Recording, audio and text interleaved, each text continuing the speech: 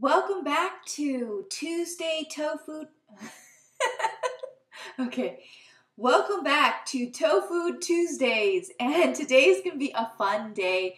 You know, with the uh, whole pandemic, many of us have been watching a lot of TV, and uh, we always want to have a snack to munch on. I know that I find myself there often, so I have a wonderful snack to share with all of you. It's called Crunchy Pretzel Snack Mix and I'm excited because uh, these have a lot of ingredients that I love.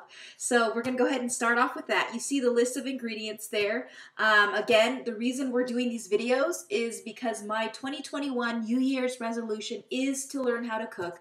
I somehow managed to get this far in life without learning how to do major cooking. So I'm going to stretch myself and set a goal to learn how to cook and put food food preparation, put some food recipes together uh, with with you all because you know it is intimidating for some of us, and I know there's a younger generation that's not always cooking.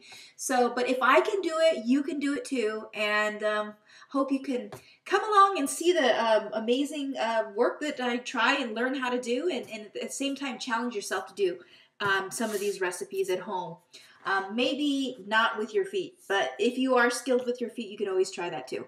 Okay, so we're to go ahead and preheat the oven to 375 degrees. And I'm going to hop off here. I mentioned earlier in previous episodes that I have a pair of slippers that I always wear to keep my feet clean. So once I step on the floor, they are still clean. Um, and I have a, a step stool here behind uh, that kind of gets in the way on occasion. Um, there's a step stool essentially that I step on to get up here on the island, and I'm going to step on it again. But soon, soon, I'm excited to say we will be resolving this challenge of having a step stool in the middle of the kitchen, and uh, we'll have some renovations done. So that's going to be something to look forward to. I'm super excited about that. Okay, preheat the oven 375, and bake set. Okay, 375.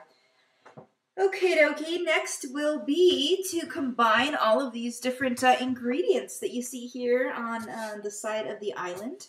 Uh, we're going to start off with cereal squares. And the cereal squares, we have rice pockets and we have pops. So let me kind of grab those. Boxes are always challenging for me to get into, but I eventually break into them, and I went ahead and opened these up ahead of time. So we'll start off with the rice pockets, and uh, it says here one cup of rice cereal squares, that's this, and one cup of the whole grain cheddar fish shaped crackers. I'm going to get to that later. But uh, one cup of the unsweetened puffed corn cereal. So one cup of both of these, put it here in the big mixing bowl. I love these big bowls. They're fun. Okay. Uh, let's uh, take these measuring spoon cups here. This is half a cup and one cup. So a cup of each. Slide that over. I have to be careful not to slide out the end of the island. Oh, there's a little piece that slipped out.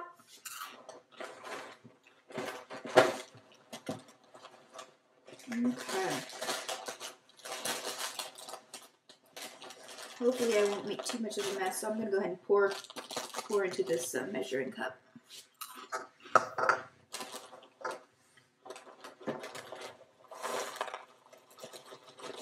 Well, if any of it falls out, I always have Chewy around to munch on anything that falls on the floor.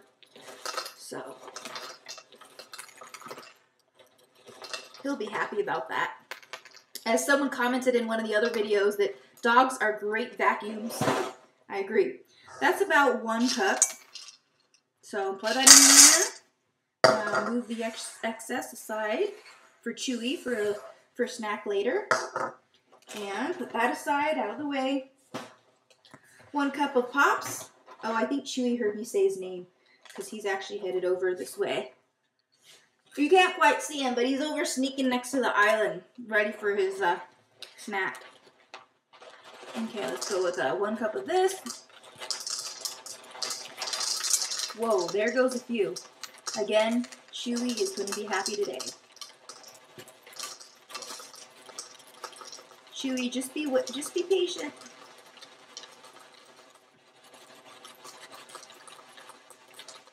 Okay, that's one cup. Okay, let one of those fall off for him. Uh, here we go. So one cup of that. Next will be to uh, get the cra uh, crackers, and those are obviously the cheddar fish-shaped crackers. We're going to get one cup of that.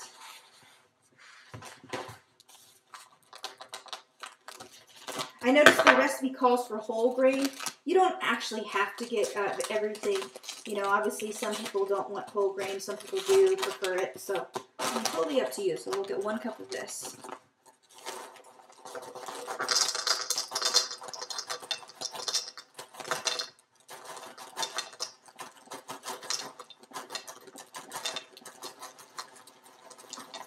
Okay, now next, one cup of that. Okay, crackers, puffed corn, uh, pretzels. Oh, we need pretzels too, so I'm going to set that aside here. Get some pretzels out. And uh, it says here one cup of these as well, so go ahead and add those in there. Again, if you just now joined, uh, my New Year's resolution for 2021 is to learn how to cook and prepare food with my feet. I managed to get by without doing too much of that, so I rely heavily on family, but I challenge you to do the same. If it's something you haven't done or it might seem intimidating, again, if I can do it with my feet, you can do it too. So let's get one cup here.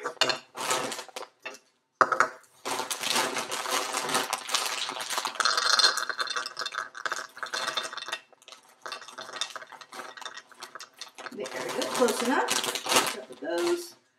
That in here. Okay, Chewy, just wait. It'll be. He's he's over here sneak trying to sneak up on the side of the island to sneak a snack. Okay, so we got the pretzel balls. We have the cereal. Uh, we have the goldfish. Uh, now it says here um, peanuts in a large bowl. So the peanuts it says here one cup or half a cup of unsalted dry roasted peanuts. So half a cup. We'll bring that measuring cup out here. This is going to be a fun uh, snack mix for sure for uh, so many of us who like to munch on occasion. Um, I kind of get hungry every three or four hours, so it's good to have some, something around to munch on. And peanuts are pretty healthy, I would say. But uh, mixing all of this together hopefully is, uh, is healthy. I'm sure it is in some aspects. So here we go. Half a cup of this, maybe a little bit more. Let's see.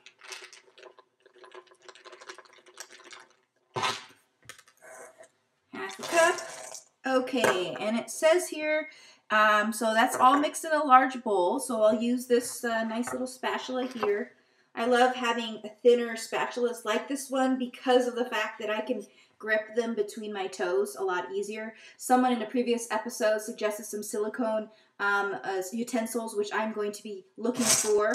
But in the meantime, having really thin utensils helps me with uh, mixing things up and, and gripping a lot easier. Because I have a lot shorter toes than everyone, well, obviously, compared to others' uh, fingers. Okay, so that's all mixed in. It's all combined and mixed together. So next will be to combine soy sauce, oil, and the cayenne in a small bowl. So we have this small bowl here. Let me make some room clear this, clear this out a little bit.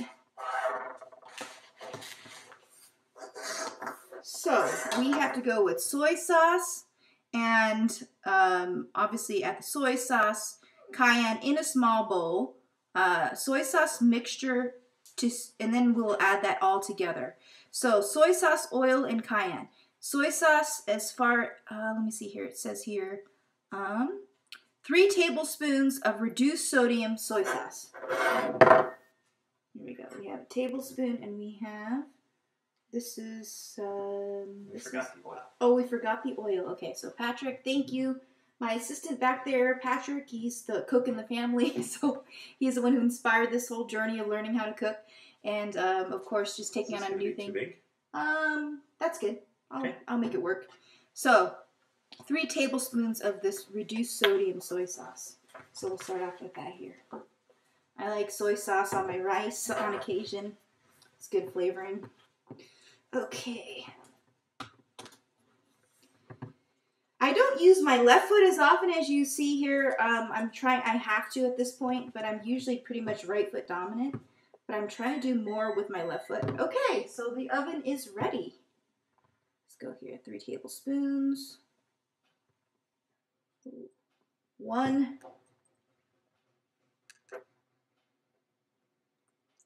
Ooh, a little bit more on that one too. So I'll, I'll make this third tablespoon a little less, just because I poured, poured a little bit too much in the previous.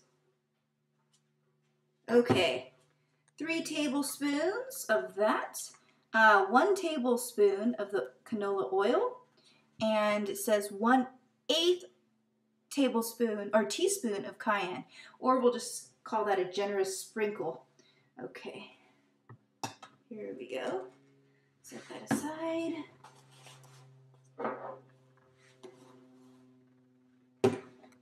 Okay, okay.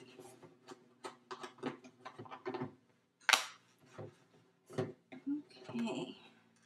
It's actually easier to pour because it is lighter, so it uh, makes it easier when there's less in the bottle.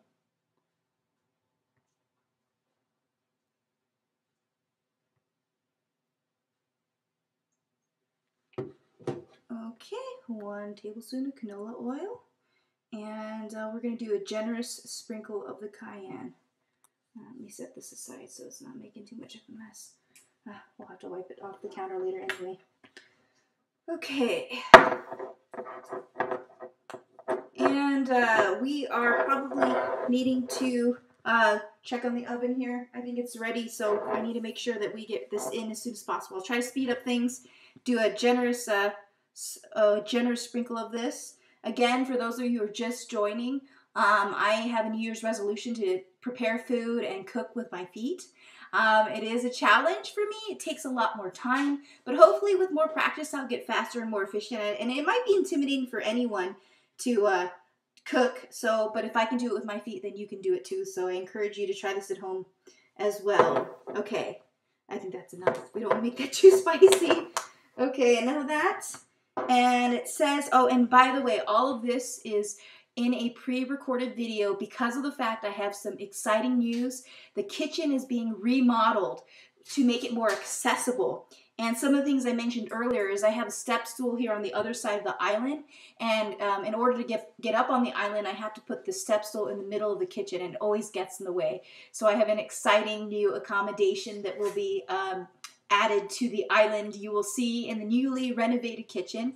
And because that's going to take two months uh, we had to pre-record some of these videos, but again, I'm with you live anyway in the comments. But um, it's going to be exciting. I'm really excited. We've been able to pick out some of the things we want, and I'm excited to show you the accommodations. Okay, great. So next is add all of these uh, into a add soy sauce um, and in mixture to the cereal mixture and toss well. So we're going to add all of this up. But let me mix this first before we toss this into there. Okay. It might be a little spicier than planned. I think I put a little bit more than an eighth of a teaspoon because I just sprinkled it in there. But spice is always good. Okay, okay. So we're going to add this all together and toss it. Okay, here we go. Trying to evenly distribute it inside Okay, now it just says toss it all together and we'll put it into a uh, baking sheet, put it all on, on a baking sheet. Make sure I get the bottom because that's where all the liquid is. Okay. Scooping things from the bottom is more challenging. Um, so if you have a tool that you can suggest, please leave that in the comments. I'm always excited to hear about tools that you have, ideas you have. Uh, for me um, because anything that makes it easier saves time and it makes it it's less work for my feet. I'm sure it's easier for everyone as well. So I'm sure your comment will be helpful to others. Well, that sauce is still kind of staying in the bottom, but I'm um, doing my best. Doing my best to bring it up here. Okay, so stir this around.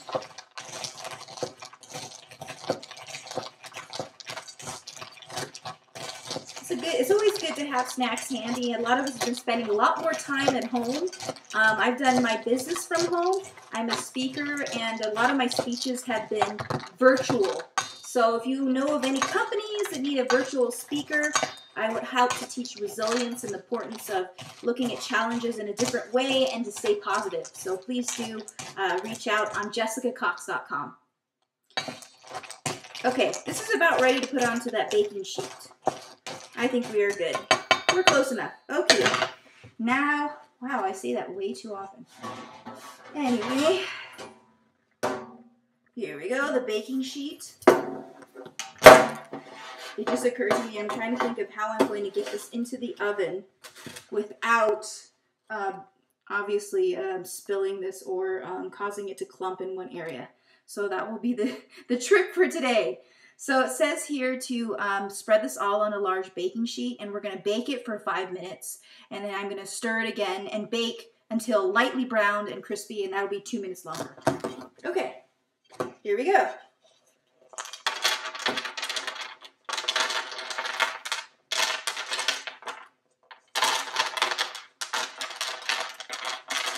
Okay, that's close enough. There are a couple little goldfishies that are on the bottom, but uh, that's good. Okay. Now, I'm going to go ahead and put it over there into the oven for five minutes. Um, I mentioned earlier that I have this nice little oven mitt that someone made for me. It was originally for a hand, but uh, now I have it for my foot. It's been modified. Um, it would be neat to have one made specifically custom for my feet. Maybe one of these days I'll ask someone to, someone to sew something together for me, but it works because I can fit my big toe in there and the rest of my toes in the bigger spot, and I just uh, I'm able to use that grip. That's very important. Okay, so let's bring this over to the oven. Um, I'll open up the oven first, and this is probably what I'm to do. I use my chin and shoulder a lot to hold on to uh, flatter things, plates, when I'm setting the table. It makes it easier for me than using my feet. So let me go ahead, pop this in the oven, and start five minute timer. Whew, it's warm in there.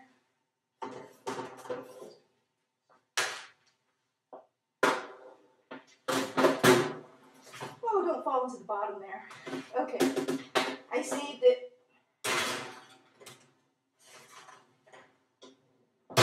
Alexa, start a five minute timer. We'll give that five minutes. Starting now. To bake, and then it says here I'll have to stir and then bake it for another two minutes, and it then should be ready. So it says to cool completely, of course. So we want to make sure that that's cool. I don't think there are many snack mixes that are cold, that are hot. So we do have to wait till it cools down and then store it in an airtight container for up to one week. So great, something to munch on for a week. Um, just so that you all know, again, if you want to reach out on jessicacox.com, if you need a speaker, uh, if you'd like to find out more about my book called Disarm Your Limits, you can find that on Amazon and share that. There are eight principles of inspiration, as well as my foundation that helps people with disabilities. And you can go to jessicacox.com and find out more about the foundation. Uh, the foundation was recently given a very generous gift. In 2019, uh, Tim Treat called me up and said, I'd like to uh, give you the Ercoupe airplane. And what an exciting day that was. That was all captured on Facebook as well, so be sure and watch that video. I think it has well over uh, maybe 300,000 views at this point. But anyway, it was an exciting day, but now this plane is going to be used for inspiration. It's in the shop as we speak, but the goal will be to use it to inspire, to advocate, to take people up who have disabilities, to inspire them with aviation, as well as to just make sure the advocacy um, and education about disability is out in the media so that many people who may not be aware of the things uh, that people with disabilities can do and what they can achieve and um, that we're doing other great things in the world to help like the International Disability Treaty and different things that we do to, as a community to help make sure that people with disabilities are supported. Okay, great. I think we still have a few more minutes, and I'm going to start to clean up some of this. Um, maybe I should ask if Chewy wants one of these uh, pieces is here, but I'll wait later. Okay, let me go ahead and check over, and the oven is still working. Um, let me go ahead and throw all of this into maybe this bowl. That's a great way to catch all of this I'll wipe it, I'll sweep it all up with my feet and put it into the bowl. Cleaning is not a favorite thing of mine, though I do like to have things very clean. so I tend to do the dishes a lot. Um, uh, but uh, I, I, because Patrick loves to cook, but maybe I'll do more of the cooking and he'll do more of the um, dishwashing this year. So, okay, I'm going to go ahead and... I, there's a special area that I give Chewy his snacks so that he doesn't learn to beg from the table. So I'm going to actually put all of this extra stuff into this bowl here and show you all how I do that. It's a little slower, but I'll just have this bowl here on the edge of the island and to scoop this all in here. Hopefully not dropping it. Oh, a few fell on the floor, but anyways, Chewy will get it. Okay, so I'll put that there for Chewy and start to clean a little bit of this up.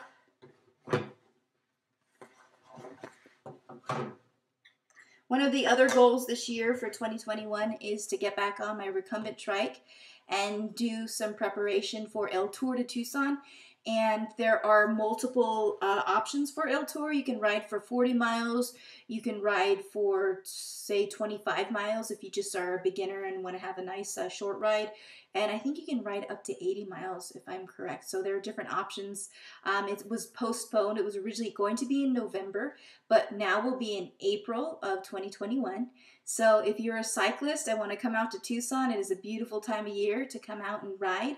Um, it'll be starting to warm up uh, in April. So it'll be a warm ride, I'm sure. It starts very early in the morning, but it's an exciting ride. Um, and you can come and see my recumbent trike. It's been modified for me to not only ride like this, like recumbents, but I also steer the bike, the trike, with uh, these steering rods that go from the handlebars where you normally steer the bike all the way up to um, to my rib cage and I'm able to rock my body from left to right and that's exactly how I steer that trike. Uh, when it comes to changing the gears, I actually use my right foot and there's a gear selector button. Uh, it originally was um, it was this little lever, but now it's a nice push button, and I essentially press down on the button and it changes it. Goes all the way up to eight different uh, levels of the gears. Uh, and then for braking, I can use either my left foot or my right foot, just like this, to brake, and that's very critical, but I do have to take my foot off the pedal in order to do so. And there's a five minute timer. Okay, so let me go ahead and use a spatula here, and Alexa, stop.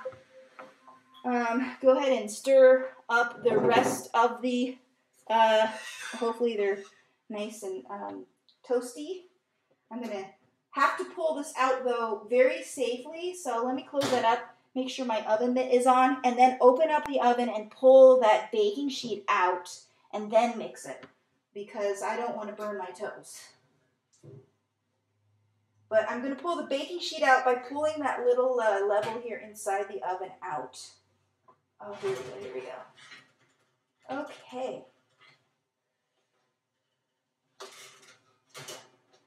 Can't quite see it from uh, over there, I know, but I'm going to go ahead and basically just uh, pull it over a little bit more so that you can see it.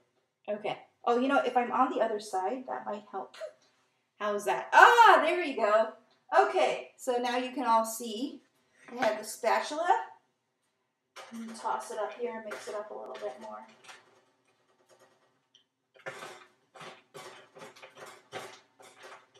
And cook it for another two minutes, it says.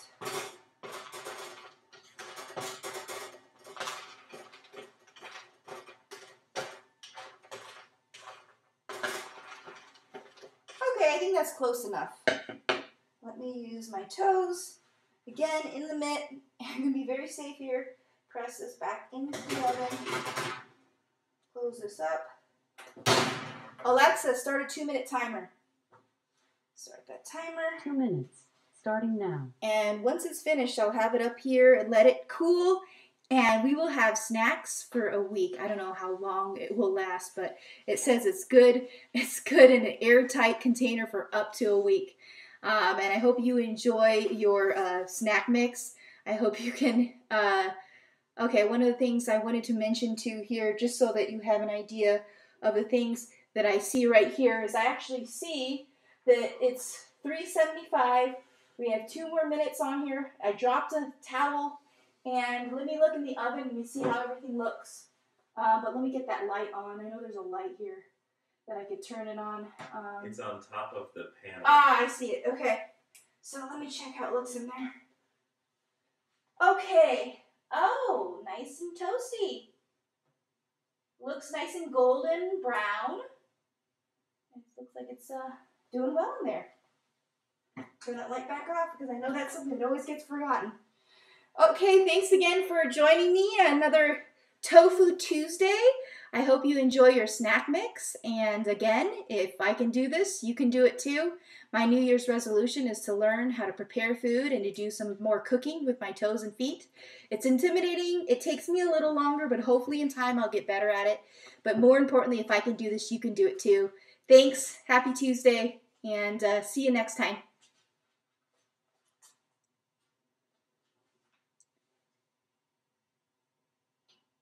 You're not gonna pull it out? Well, I guess. Have, We have what, 20 like seconds left. 20 seconds left. Okay, I'll just pull it out. I'll go ahead and pull this out. Okay, sorry if um, I misled you. We're not ending the episode yet. I'm going to pull this out and show you how I'm going to do that with uh, eight seconds left. Slip my oven mitt on. Two, one. Okay, it should be ready now. Let me go ahead and open this up. This out. Looks good. Alexa, stop. Oh boy. This will be the trick. Pulling this out with one foot standing on one leg and bring it over there, but it's going to be too hot, so I'm going to leave it on top of the stove. Whoa. Quite the grip required. Okay. I think I got it, guys. I- I didn't have a handle like I did on that last uh, broiler. Okay. Looks beautiful. Let's wait till that cools down. Let me turn the oven off. Okay. It's. Oh wait, that's the other button. Okay, press the off button. Just in time for one o'clock. See y'all. Take care.